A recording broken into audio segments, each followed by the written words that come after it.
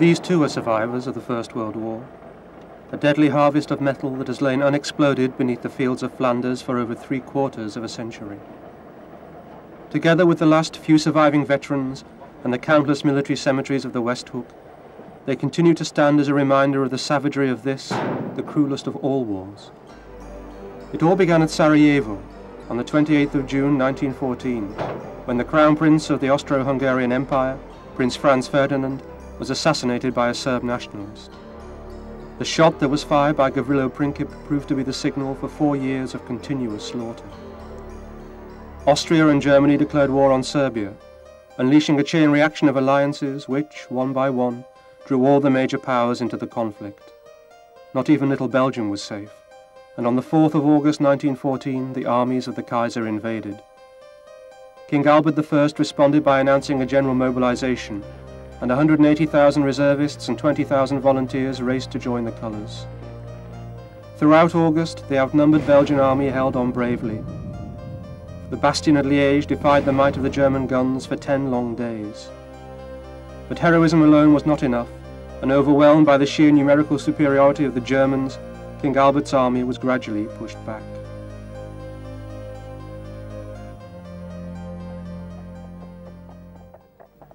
The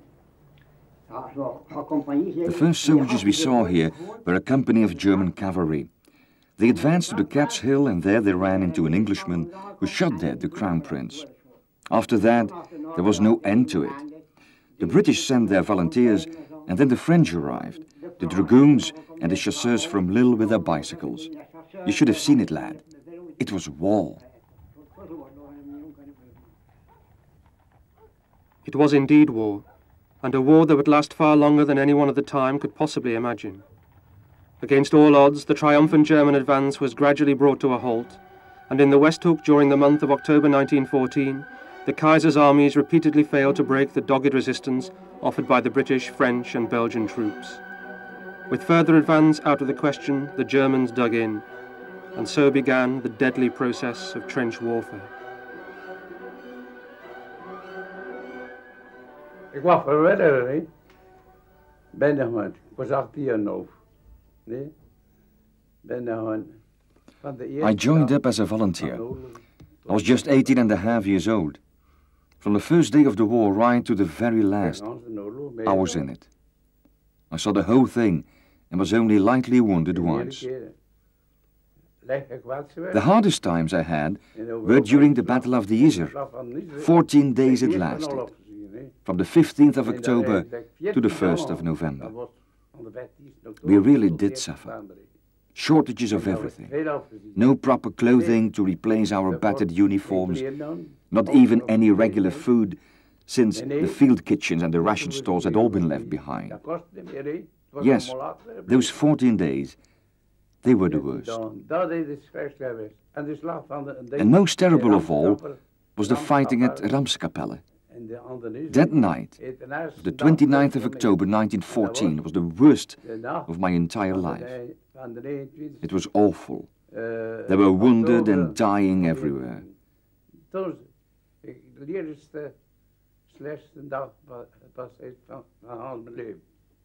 was daar. Tweede slachtoffers. Bij de Frans worden, bij de Frans worden The French were sent up to help us, since we were no longer of any use as soldiers. We were totally worn out. I was only 18 and a half years old. But if they had shot us all at that moment, I don't think I would have minded.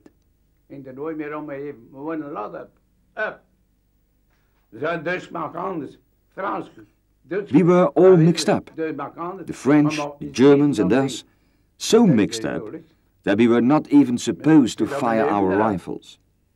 But I did it anyway. And that's how I saved my life there. If I hadn't done it to him, the German would have done it to me. I don't like wearing medals because medals are the symbols of murderers. That's what we all were. Murderers. Even the Germans were someone's children.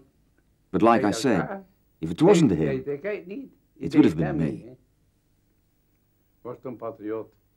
In the beginning, I was a patriot, but my patriotism soon disappeared when I saw what it was doing to us. There were always enough men, so they just treated us like any other piece of war equipment. If a horse was killed, you had to make out a report. If a man was killed, nothing much was said. The soldiers who fell at the front during the heavy fighting were simply buried where they fell. It didn't seem to count for anything. Terrible.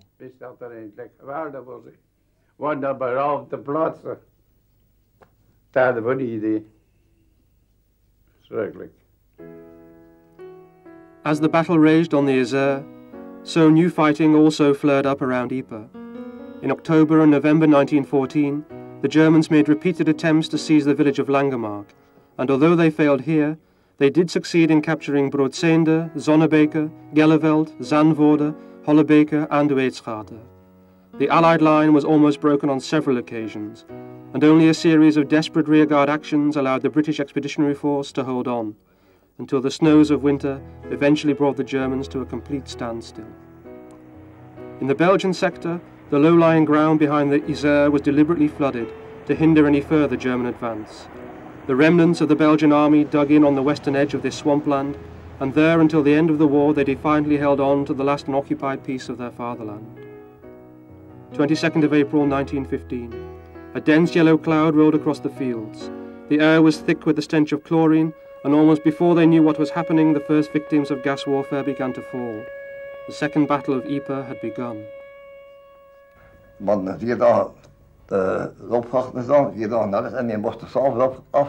We had just done four days in the trenches. and had been relieved that night. At three o'clock in the afternoon, we saw in the distance a cloud rolling across the fields, and the major said, Monsieur du gaz. Everything was in French in those days, but sure enough, it was gas. In groups of six, we rushed back to the trenches. We had no gas masks, so we had to urinate on our handkerchiefs and press them to our mouths. You couldn't use ordinary water because it had been contaminated by the gas. Our eyes were streaming, and it was as though someone had grabbed us by the throat. I still have trouble with my breathing and with my eyes. En dat was precies zo een keer gepakt was die roze. Ik weet nog op het En mijn ogen, dat komt nog altijd terug sommige tijden. Nee. Maar op een zeker moment... But at a certain moment, the wind changed direction and blew the gas back on our enemies. They already had gas masks, but we didn't. Eventually, we got masks as well. At first, they were just goggles with mica lenses, but this was only while they were making something better. Later on, we got this better version, too. We helped carry away the wounded, and then we came back with sacks of ammunition for the machine gunners. The grenadiers were already lying in position, and we, riflemen, just lay down beside them. The grenadiers had mown down row after row of young German soldiers as they tried to advance. They had all been singing Ons Vaterland muss grosser werden, which means Our fatherland must grow, but it didn't get any bigger that day. They were wiped out to a man and they are all buried at Madonna near Langemark. A whole cemetery full of young lads. You can still visit it if you want to. It is hard to imagine that this peaceful setting was once the scene of wholesale slaughter, but this is the same Langemark, where gas once soured the air and where the flower of German youth, advancing with Deutschland über alles on their lips, was mown down, row upon row, by the waiting British machine gunners. And it is perhaps ironic to note that the statues which now look out over this place were made by a certain Emil Krieger, whose name in English means the warrior. At Vladslo, Peter Kollwitz lies buried. His mother was the sculptress, Käthe Kollwitz, and she, perhaps better than anyone else, has captured the sadness, the anger, and the impotence of those who were forced to witness the sacrifice of their sons. At the very spot the murderous gas taps were opened for the first time, A cross of reconciliation now reaches up towards the skies. And at St. Julian, a Canadian soldier, standing with reversed arms, keeps watch over the fields where so many of his countrymen fell during the gas attacks of 1915. On the 3rd of May 1915, during a brief lull in the fighting, a Canadian doctor called John McCrae wrote a poem, sitting on the canal bank above his dressing station at Essex Farm near Boezinge. The poem expressed the hopelessness and desperation of the average fighting man, but at the same time appealed to future generations to carry on the fight. McCrae's words seemed to capture the spirit of the time and very soon acquired a worldwide fame as a denunciation of the horrors of the war. In Flanders fields the poppies blow. Between the crosses, row on row, that mark our place, and in the sky the lark still bravely singing flies scarcely heard amid the guns below. We are the dead. Short days ago we lived, felt dawn, saw sunset glow, loved and were loved and now we lie in Flanders fields. Take up our quarrel with the flow. To you, from failing hands, we throw the torch. Be yours to hold it high. If we break faith with us who die, we shall not sleep, though poppies grow in Flanders fields. Exhausted and disillusioned by the horrors he had sought to portray, McCrae died at Wimereux on the 28th of January 1918. However, the poppy he wrote about so eloquently has remained an international symbol of remembrance and reconciliation. The atmosphere of peace and serenity which pervades the war cemeteries today stands in stark contrast to the savage brutality of the war years. Where once all was barbed wire, torn earth, and shattered trees, there now stand row upon row of clean white headstones, each of which, in its own way, conveys the message you are gone, but not forgotten.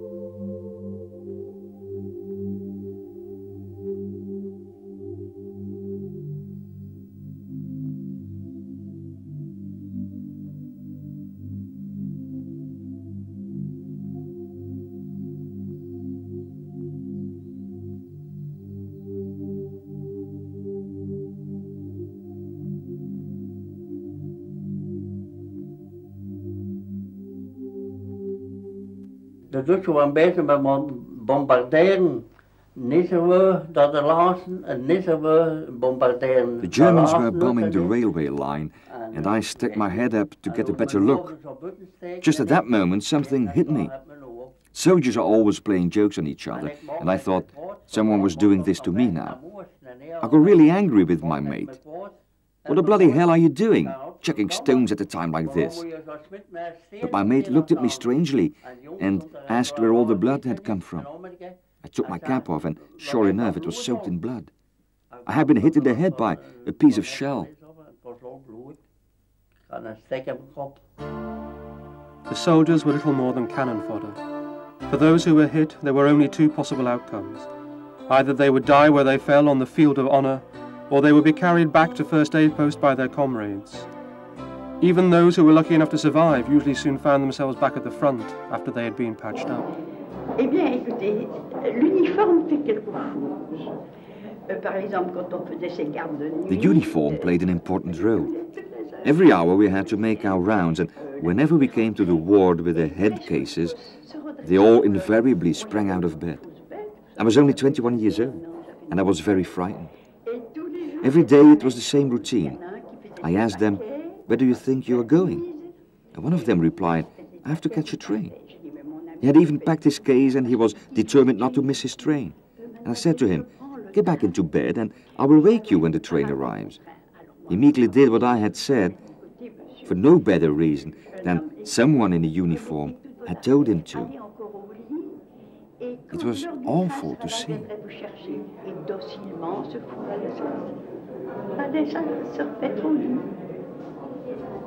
C'est pas drôle,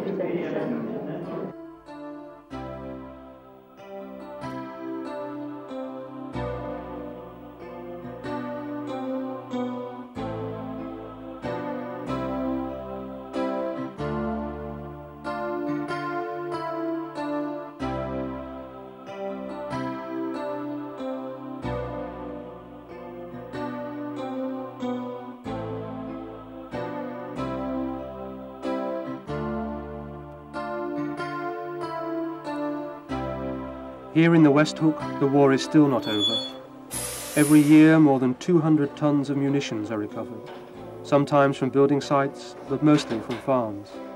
It all finds its way to the bomb disposal depot at Poelcapelle. Despite the passage of time, this iron harvest is still potentially lethal, and explosions are not uncommon. Over the years, the locals have come to terms with the threat, but even so, there are still occasional fatalities, yet further victims of a war that never seems to end. 10% of all the munitions recovered are in the highly dangerous category, many of them containing toxic chemicals.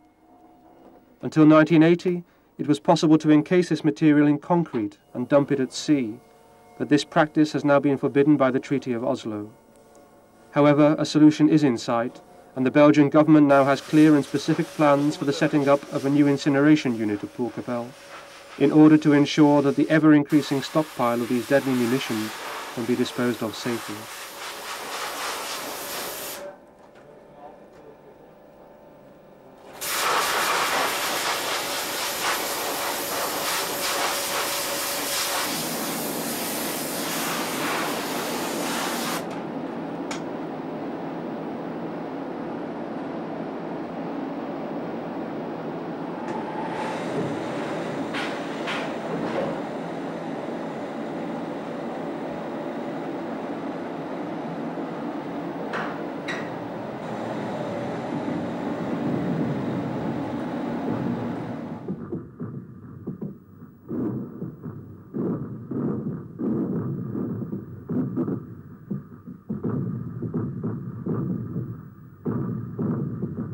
I never experienced a heavy attack of gas, but uh, they had a nasty habit of firing ga gas, mustard gas in, in shells. And when the shell burst, it spread a kind of film which was, uh, well, if you got it on your hands and your eyes, you were very much troubled by it. Everyone suffered to a degree, some much more worse than others. In dat dat ik woonde, daar worden alle Amerikaners als brasten van de Somme. Er in the hospital where I was, there were already some Americans who had been wounded on the Somme. They had all been in smaller hospitals to begin with, but now they had been transferred to this larger hospital, to be shipped to England when the war ended. Eh, I saw a lot of misery and suffering in that place. Many men were badly burned from mustard gas. Gas was also used on our Belgian front, but that was only vitriol gas, which bore no comparison with the dreadful mustard variety. These poor men were burnt all over, from head to foot. One man was lying there in just one half of a burned shoe and a few tatters of blackened uniform. Others had quite literally been burned black.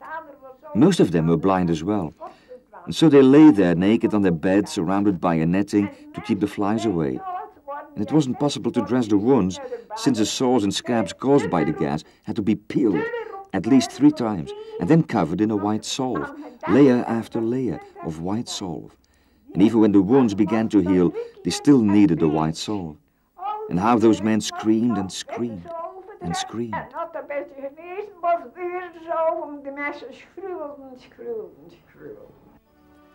Those who are not familiar with their history will find it difficult to imagine the extent to which this peaceful stretch of countryside was made to suffer, how it was torn apart, piece by piece, and drenched with the blood of hundreds of thousands of soldiers.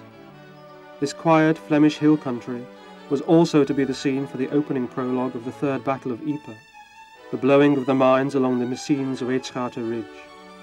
Using tunnels pushed forward from the British trenches by special tunnelling companies, massive charges of high explosive were set under the German front lines. And one of the most objectionable uh, tasks that we had was to uh, go down in the sap and assist in the mining.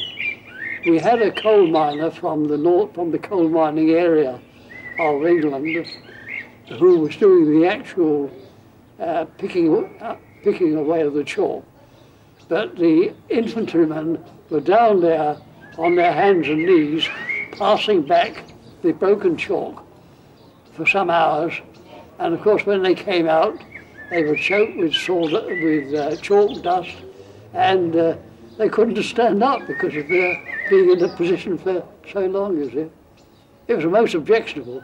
And of course, the worst part of it all was that while you were there in the tiny tunnel, you could hear the Germans picking away around you at the same time. And it was a case of which one blew the other one up first. And you hoped it wouldn't be you. We were in dug dugouts very close to when that mine went up. And I was laying on a bit of a step and it, it threw me on the floor. It was that violent, you know. But uh, we went up after more. We were more in reserve at that time. I don't know who took took the uh, the front line there, but we went up after and, and uh, sort of uh, uh, ready, got ready for any counterattack. You see. At Zillebeke, Ploegsteert, but most famously at Wytschaete and Messines, the German defences were blown sky high by a chain of 19 separate mines. The detonation was so powerful that it was said that it could be heard in London.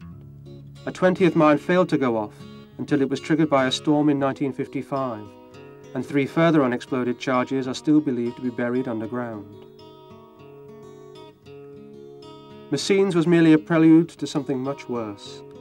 The murderous Third Battle of Ypres would reach its bloody climax six months later at Passchendaele. Field Marshal Haig had wanted to break through on a wide front to capture the U-boat bases at Zeebrugge and Ostend. However, he failed to take sufficient account of the heaviness of the Flemish soil and the unpredictability of the Flemish weather.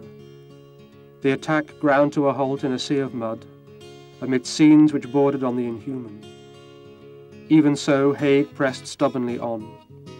He eventually won eight kilometres of ground, but he lost over 450,000 men. The seemingly endless rows of British graves at the imposing Tyne Cot Cemetery are a grim but eloquent testimony to the futility of war.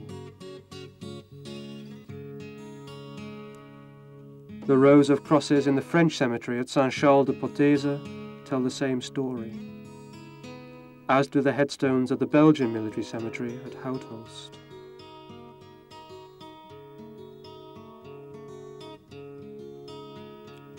Rich or poor, old or young, believer or non-believer, no one was safe from the fickle finger of fate. Thousands upon thousands of soldiers, always someone's father, always someone's son.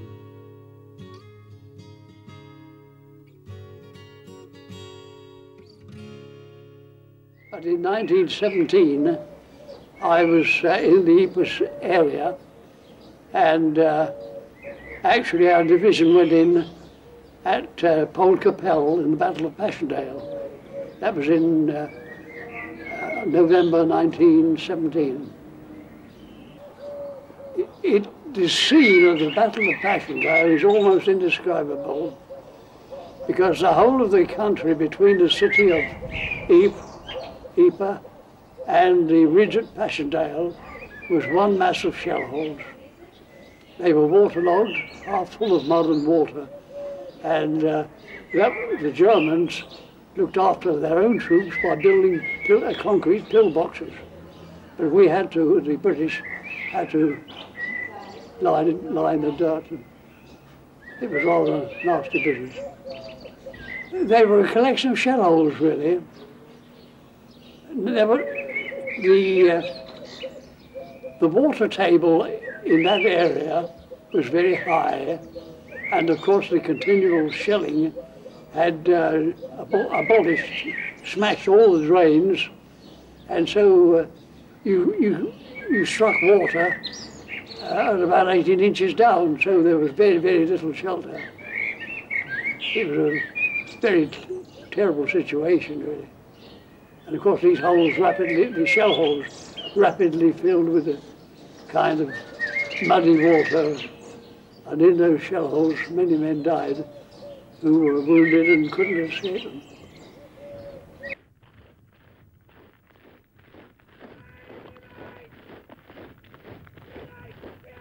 1918. The end is finally at hand. After the revolution in Russia, the front in the east collapsed. The Germans shifted all their forces to the west in a desperate bid to win the war before the Americans arrived. In spring 1918, they launched their last great offensive. Ploegsteert, Messines, and Hollebeke were lost, but at Merkem at least they were checked by the Belgian army. Everywhere else, however, the advance continued. Kemmel Hill and Loker both fell, and only at the foot of the Scherpenberg was the offensive finally brought to a halt. The great gamble had failed.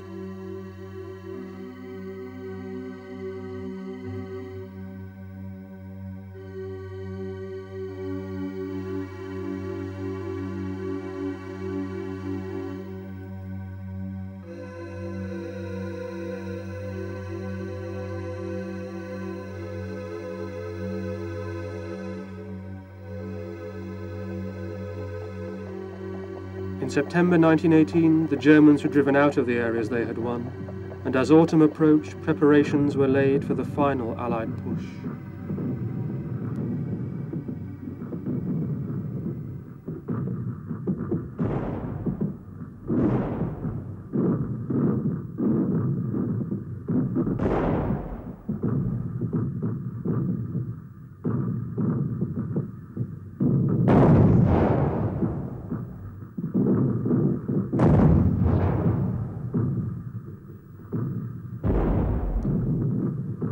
Swiss border to the North Sea coast, a furious bombardment was unleashed.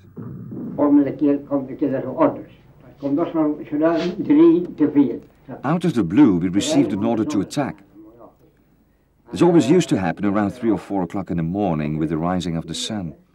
We were all given a measured amount of coffee. There was some kind of spirits in it, but we didn't know what it was.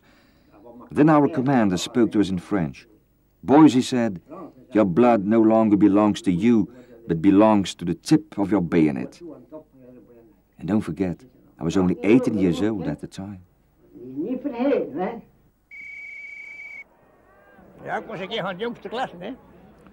I was with one of the last classes to be called up for the war, the class of 1918. I'm 94 now, but I was only 18 when I arrived at the front. Me and my three brothers were all in the army, and one of them was killed at my side in Oostrozebeke. He had this in his breast pocket when he was killed. You can still see the impact made by the bullet that pierced his heart. About a year later, I can't remember exactly, we got a letter asking if we wanted him to be dug up and brought back to Poperinge. But my mother said, the poor lad has already been laid to rest and I would rather leave him where he is. And so it is that he still lies buried in the cemetery at Houthulst. It is not known with any certainty how many Belgian troops were killed during the First World War. The estimates vary from 27,000 to 40,000. Officially, there are 15,790 graves, contained in 21 military cemeteries spread across the country.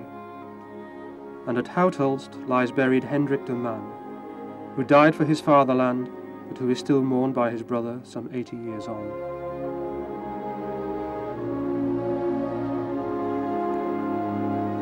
Not far away at Klerken stands a mill which was used by the Germans as an observation post during the final offensive. The mill was captured on the 28th of September 1918 by troops of the 2nd Line Regiment. On the day before the great attack, King Albert I wrote, Soldiers, you will put to flight the invader who for four long years has oppressed your brothers. The decisive moment has come. Everywhere the Germans are afraid to fight. The attack was centered on the forest at Houthulst. The German lines were captured one by one, and when there were no more lines left, they were pushed back across open country. 11th of November 1918, Armistice. The war is over. In every church the victory bells ring out. In every street the people celebrate. There are flags everywhere. The King, Commander-in-Chief of the Belgian Army, was welcomed in triumph at every town he passed. Those lucky enough to survive the slaughter were also welcomed home as heroes. The battlefields were silent. The cannons roared no more. Even so, the whole countryside was littered with the deadly refuse of war, as a former police officer from Ypres can testify. Bijna dagelijks werden wij opgeroepen om uh, de vaststelling te doen van ontploffingen van. Uh, Almost every day, we were called on to make out reports for workers who had been blown up whilst trying to knock the copper bands off old shells. The lucky ones used to earn good money for the lead shrapnel balls, but it was dangerous work, since the shells were still full of high explosive, which could easily go off. Die obussen waren nog geladen en die ontploften. En er waren bijna Almost every day, or at least two or three times a week, we had to go out and collect up the shattered remains of the victims in sandbags. The shells that we recover are still filled with high explosive. We must be very careful that we do not exceed the limit of 50 kilogram of pure explosive or an equivalent amount of TNT per detonation. Of course, the total weight of the crates is much greater, 250 or sometimes 300 kilograms, but they can only contain a maximum of 50 kilogram of explosive. At Poelcapelle, unexploded ammunition is still brought in nearly every day. Non-toxic items are placed in crates, which are then buried in pits before being detonated.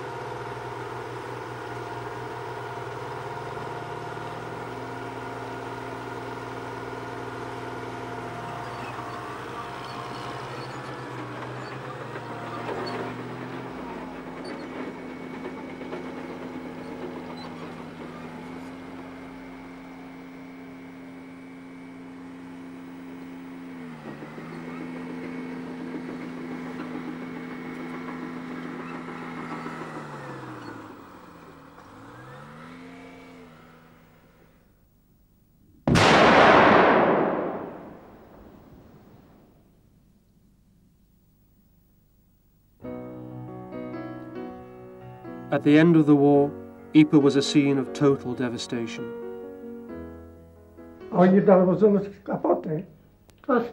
Around here, everything was shot to pieces, leveled to the ground.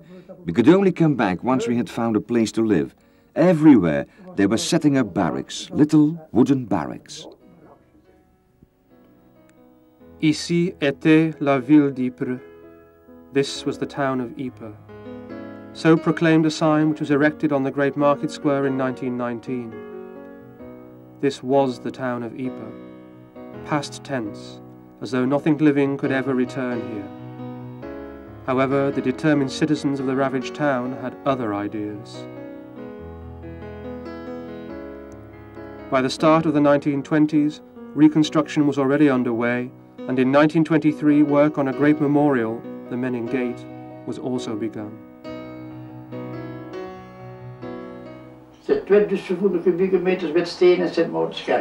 There are 2,500 cubic meters of white stone in St. Martin's Cathedral and another 2,500 cubic meters in the Menin Gate.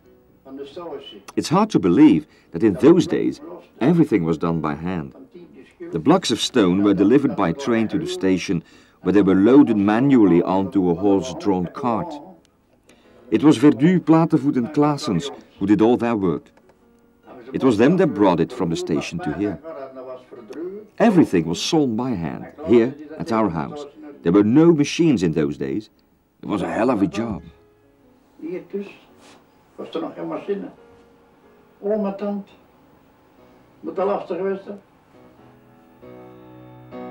By 1927, this monument to the missing soldiers of the British Empire had been completed. Designed by Sir Reginald Blomfield, it was ceremonially opened by Field Marshal Plumer on the 24th of July in the presence of His Majesty King Albert I. Memorials to the Belgian fallen were also erected in almost every town and village in the land. Ypres was no exception. The public showed great gratitude and respect for those who had bought their freedom at so dear a price. The unveiling of every memorial was attended by large crowds, so as here in Poperinge.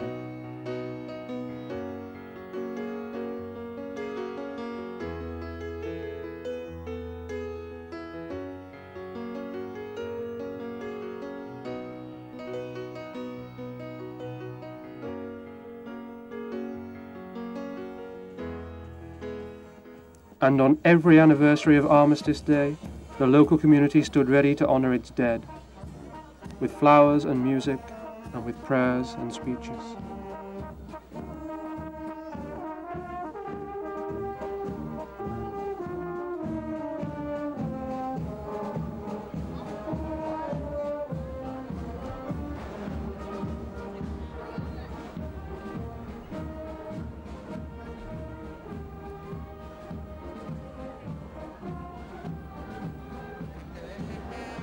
Surviving veterans were also honoured with medals and decorations. Their fallen comrades were not forgotten, but were commemorated more quietly.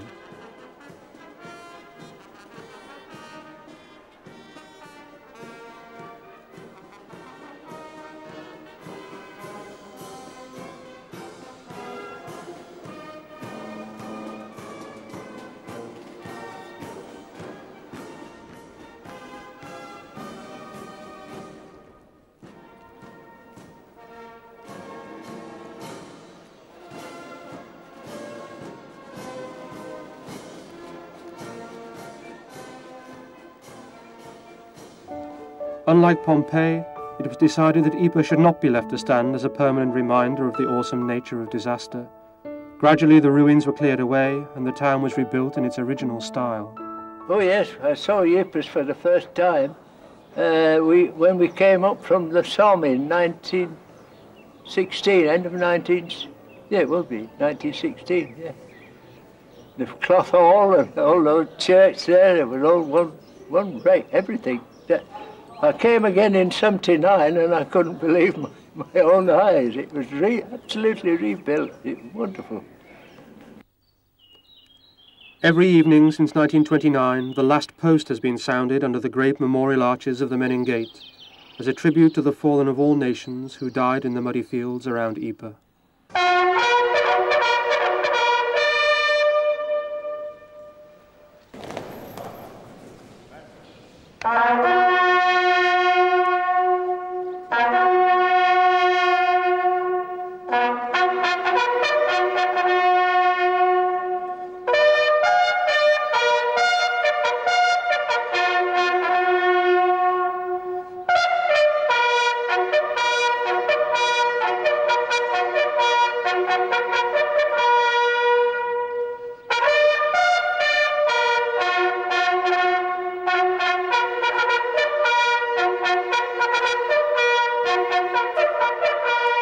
Menin Gate bears the names of 55,000 soldiers who were posted as missing in action.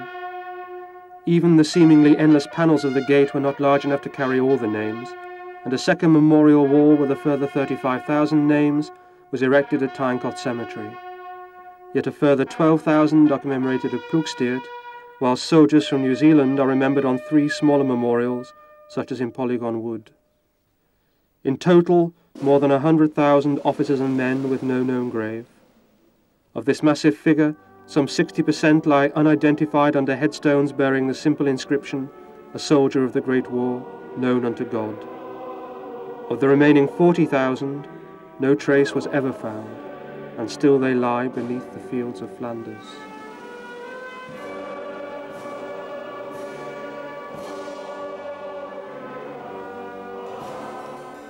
The war is still ever present in this region, not only in the hundreds of cemeteries which dot the landscape, but also in the various museums, which give more modern visitors a brief insight into the terrible years of the Great War. The museum at Hooge Crater is one such example.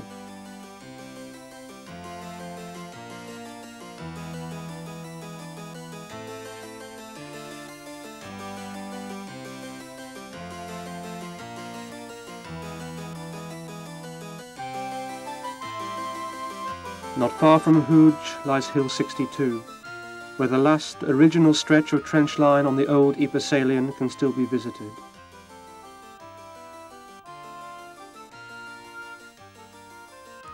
And where a series of old-fashioned what the butler saw machines lay bare the horror and brutality of modern warfare. No detail, however gruesome, is spared.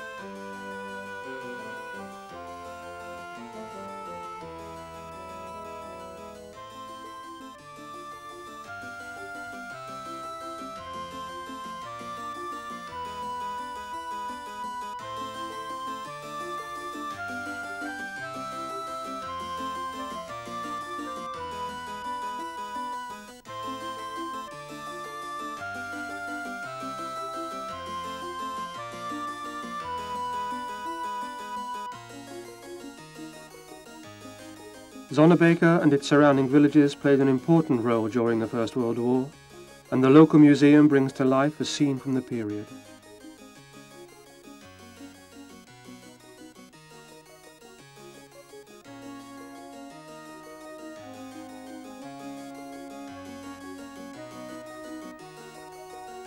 At Hill 60, nature has healed the savage destruction wrought by man. During quieter spells, the troops were allowed brief periods of rest behind the lines, at places such as Talbot House in Poperinge.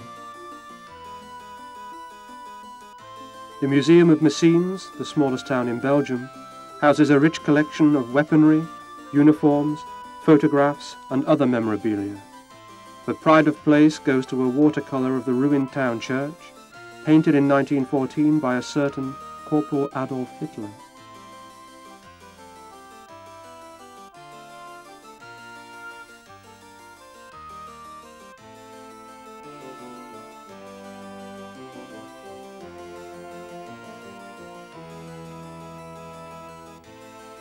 During the late 1990s, the old Ypres Salient Museum in the Cloth Hall was completely redesigned under the direction of Piet Chielens.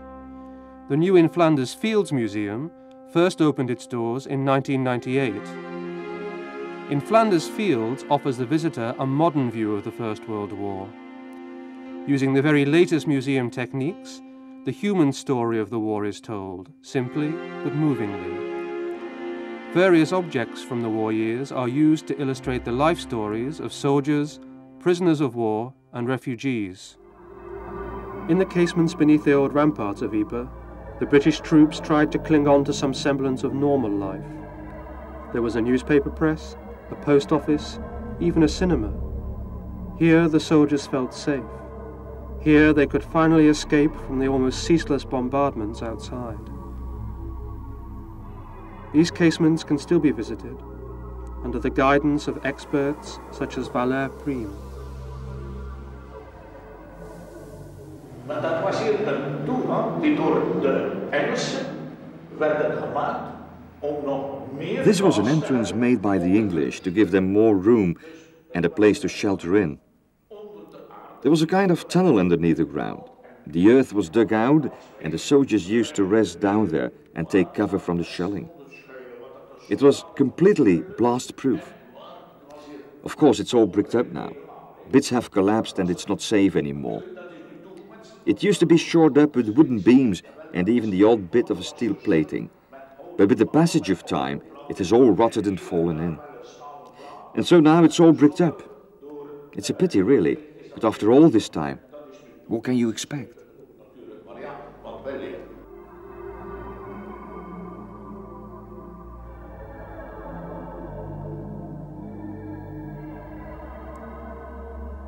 Even today, some 80 years after the armistice, there are still dozens of historians and enthusiastic amateurs who scour the landscape in search of traces of the war. At St. Eloi, near the Palingbeek Provincial Park, a collapsed dugout is located. Amidst the mud and slime, an old water pump is discovered and, after a few good pulls, is recovered.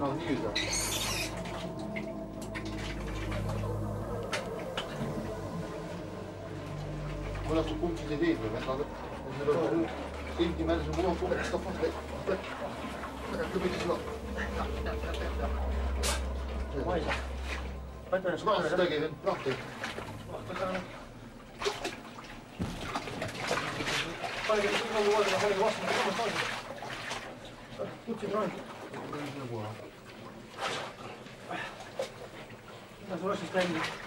niet. Ik heb het niet. Ik heb 刚才说。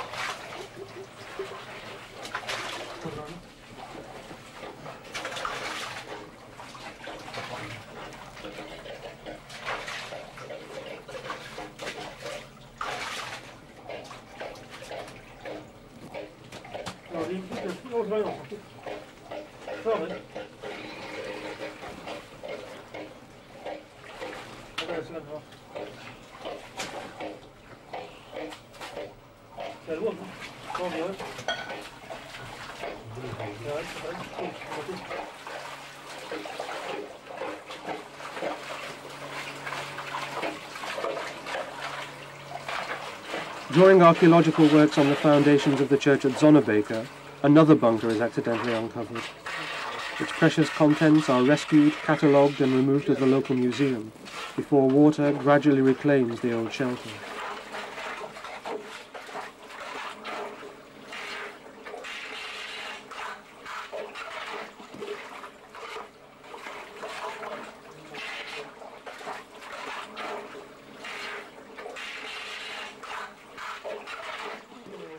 At Wytschaete, fate lent the historical investigators a hand.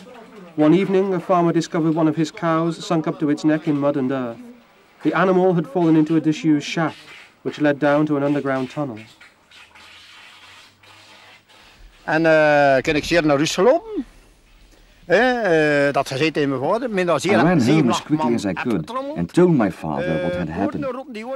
We quickly got together about seven or eight men and set off back to the field. The entrances were full with water and the head of the cow was only just above the surface. Even so, we managed to get a rope behind her ears and after a good half hour's pulling, we finally got her out. The poor beast was stiff with cold from being so long in the water.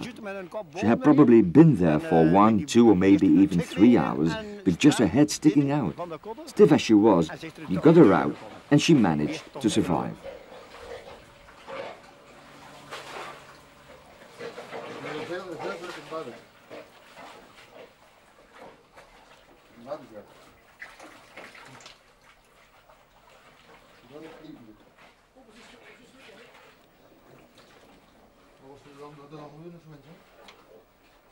En daar waar je boven weer.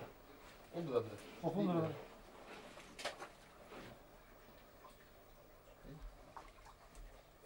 Zo was dat. Maar toen kijk dat hier. Dan zit er een boven. Kijk hier. Het kan al uitzien of het stopt. Nee, kijk, kijk, kijk aan het draaien. Pas op, dus maar pak eerst dat is het werk op. Ja, moet je dit helemaal.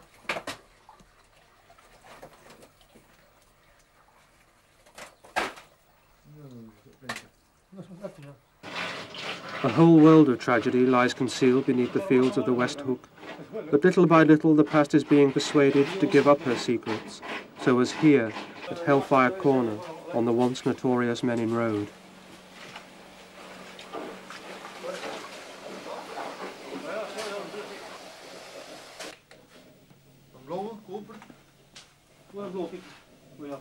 zwarte? Ja, de zwarte. Dat is goed, Nederland nog, hè? Dan is het spannend.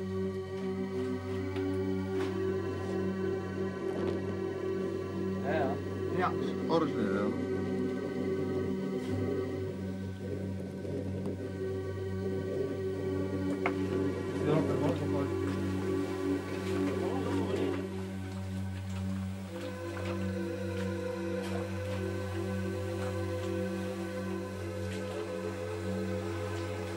And so the search goes on, and will continue to go on, as long as there are people dedicated enough to devote their free time to poring over every shovelful of spoil from building projects and roadworks, in the hope of discovering yet another piece of forgotten history.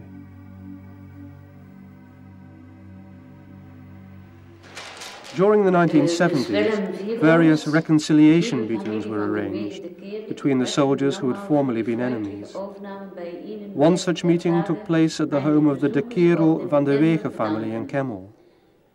Here, more than 50 years after they had tried to kill each other, troops from the famous Das Groene Korps finally extended the hand of friendship to Belgian and British veterans who had returned to Flanders as part of a tour organized by the British historian Lyn Macdonald.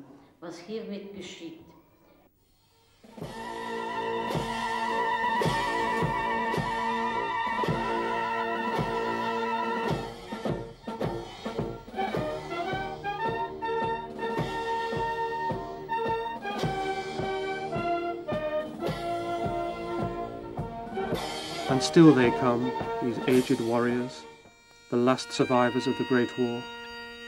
Every year they are fewer, but still they visit the sites of their former exploits. Still they remember their old comrades, fallen so long ago. Under the Menin Gate they listen to the solemn music and to the prayers, but they listen perhaps most closely of all to the haunting words of Laurence Binyon's exhortation. They shall grow not old as we that are left grow old. Age shall not weary them, nor the years condemn. At the going down of the sun and in the morning, we will remember them.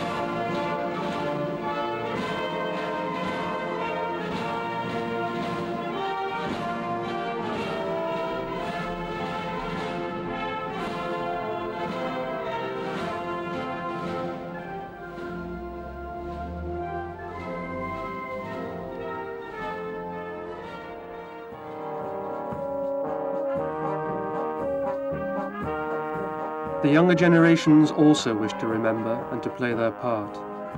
At the site where John McCrae wrote in Flanders Fields, students from a local school in Ypres have renovated the dilapidated bunkers of the old dressing station. And new and sometimes gruesome discovery discoveries continue to be made all the time. During recent roadworks in Zonnebeke, the bodies of six German soldiers were uncovered in a collapsed shelter, dug into the embankment of the old Ypres railway. The mortal remains were removed by the local police and after due process of law will be handed over to the German War Graves Authority for burial at Langemarck. And so the search goes on, the search for the last remains of a war that should never have happened, the search for the last victims, the search for the last survivors.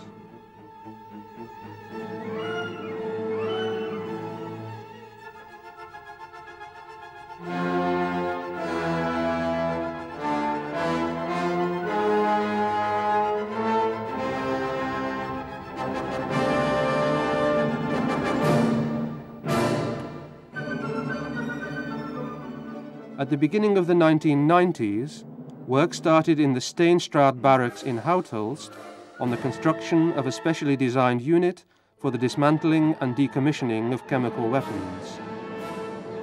The building is equipped with X-ray equipment to allow easy identification of problem munitions. The explosive element is removed and neutralized using robots, and the shells are drilled through to allow the chemical elements to be separated. A specialist waste disposal company then destroys these chemicals by incinerating them at very high temperatures. Each potentially dangerous shell must be individually checked and emptied. At a current rate of 15 shells per day, it will take several years to destroy the existing stockpiles in Houthulst. Yet even when the last veteran is dead and the last shell has been removed from the soil of Flanders, it will remain important that this war should not be forgotten. For as a wise man once said, he who does not know his history is doomed to repeat it.